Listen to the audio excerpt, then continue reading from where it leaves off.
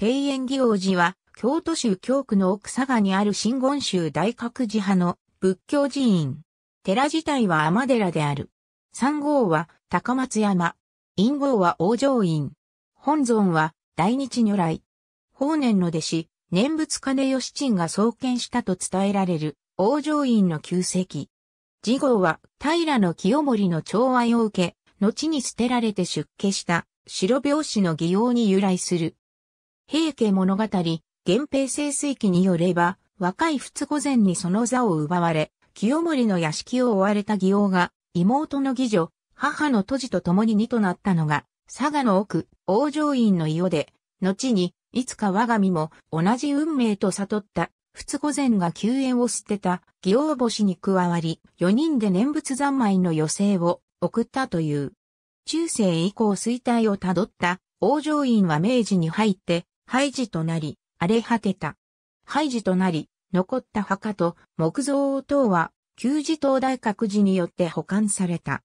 その時の大覚寺門跡楠木玉、大使はこれを惜しみ再建を計画していた時、1895年に北垣国土が佐賀にある別荘の一棟として、寄進した茶室を本堂とし、大覚寺の管理のもと、古典古寺の旧跡として再興を遂げた。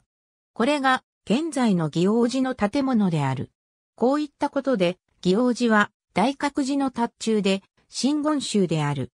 以後約7年間は、京都の水、薬師寺の六条地教にが住職を兼務したが、主に若い二層が交代で留守していたに過ぎず、里し鏡にの高い後は長く住み着くにもなく追尾し、無重となって再び荒廃した。1935年からは、東京新橋の元名物芸技商用こと、高岡智輝が、安守、智輝にとして、入り安し、寺男として、寝起きを共にしたまたいとこと共に、その復興発展に尽くした。配管料の徴収を始める昭和37年までは、大原孫三郎、村松昌風、長島隆二ら特殊化による伏せや、記者のほか、友照にの筆による短冊や色紙の反布料で暗室を支えた。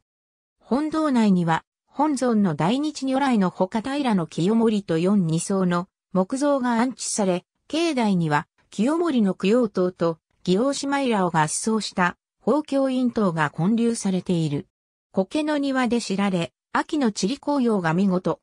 光明正信、塚本圭一、京都の散歩道大和渓谷社、1982年、131、132ページ。AB 光明正信、塚本圭一、京都の散歩道大和渓谷社、1982年、132ページ。ABC 山本四郎、京都の歴史散歩中山川出版社、1995年、136ページ。